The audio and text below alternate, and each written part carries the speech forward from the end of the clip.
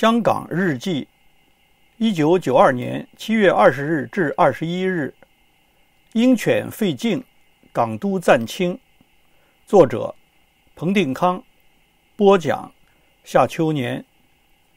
七月二十日，星期一，一整天都在开会。我们讨论了三个议题，而这些议题很可能在接下来几个月甚至几年里都会占据我大部分的时间。首先，我们与布政司、财政司和中英联络小组首席代表高德年讨论了兴建机场的议题。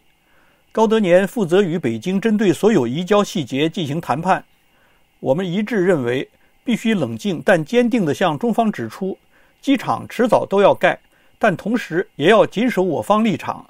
也就是说，目前我们已无法再做什么来缓解中方据说感到焦虑的情况。我们还应该明确表示。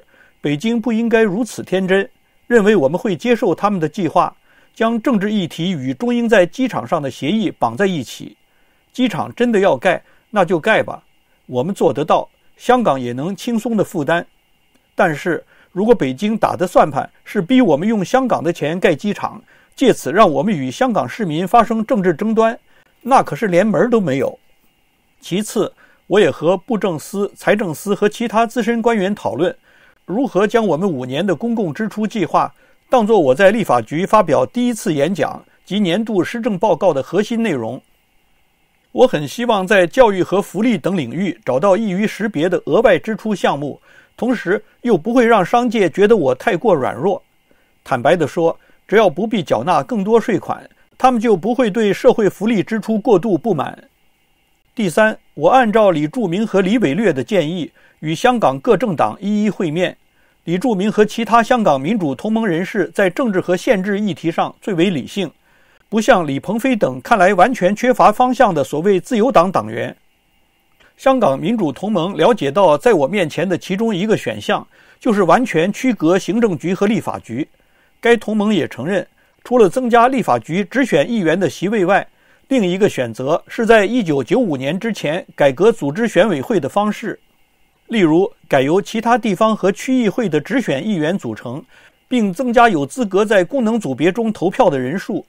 功能选区的团体投票产生了一些可耻的腐败选区，就是少数被收买的选票决定哪一位候选人当选。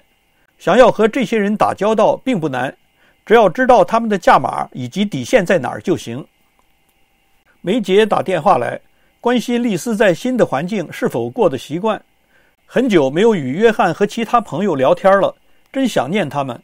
前几天崔斯坦也打电话来，我想这是多年来第一次有一整个星期没有好好和他聊政治了。今天的主角当然就是威士忌。现在他开始在屋子里四处走动，先快步闪进我私人秘书的办公室，再往厨房里钻。威士忌喜欢在客人来开会时闻他们的裤脚。之前还无解的谜团。就是威士忌是否会吠叫的问题，到了今天总算有答案了。早上，他跑进我的更衣室，跳到垫子上，开始忙着照镜子。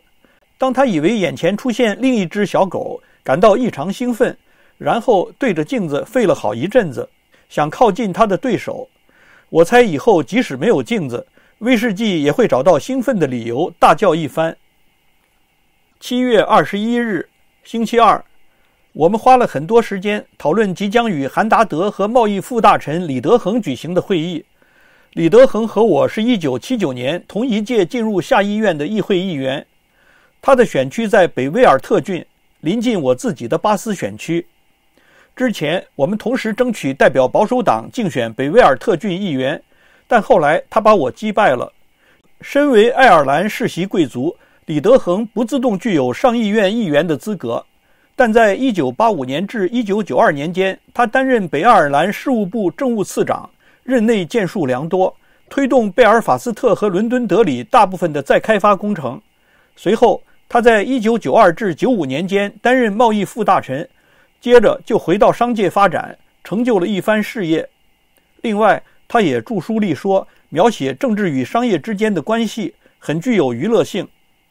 他从以前到现在都一直是我的挚友。人勇敢有原则，是人人羡慕、非常幽默的说故事高手。担任公职期间，李德恒战功彪炳，但也吃了不少苦头。李德恒和韩达德将于本周晚些时候抵达香港，在今天上午的行政局会议上，主要议题是退休金。而针对退休金，我们有一份咨询文件。再者就是兴建机场的问题。下午最有趣的会议是与刘慧卿会面。多年来，刘慧卿一直是所有民主派人士中最直言不讳、能言善道的一位。来访的英国官员普遍认为他爱挑起对立，引起动荡。